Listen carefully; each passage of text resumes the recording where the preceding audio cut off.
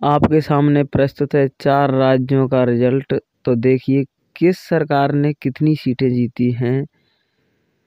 Bharatiya Janata party ने राजस्थान में जीती हैं एक सौ पंद्रह सीटें और इंडियन नेशनल पार्टी कांग्रेस ने उनहत्तर सीटें जीती हैं।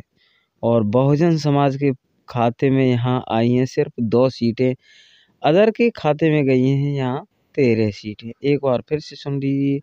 भारतीय जनता पार्टी एक सौ पंद्रह, कांग्रेस उनहत्तर और बहुजन समाज पार्टी दो। ये सीटें यहाँ जीती हैं।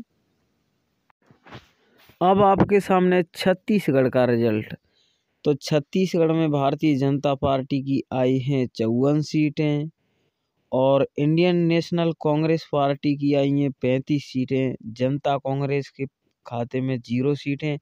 अदर के खाते में एक सीट गई है यहाँ पर। ये छत्तीसगढ़ का रिज़ल्ट आप देख रहे हैं। और आगे तेलंगाना का देखेंगे।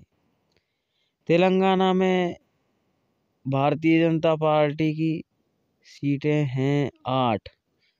इंडियन कांग्रेस की पार्टी हैं चौंसठ और भारत राष्ट्र की उनतालीस सीटें हैं। ऑल इंडिया मजलिस, सात अदर एक ये पार्टी की सीटें यहाँ निकल के आई हैं। तेलंगाना में आगे देखेंगे मध्य प्रदेश का। मध्य प्रदेश में भारतीय जनता पार्टी की सीटें निकल के आई हैं तुम्हारी एक सौ तिरसठ। और कांग्रेस की सीटें निकल के आई हैं छियासठ सीटें। बहुजन समाज पार्टी के खाते में यहाँ ज़ीरो सीट है और अदर के खाते में यहाँ एक सीट आई है।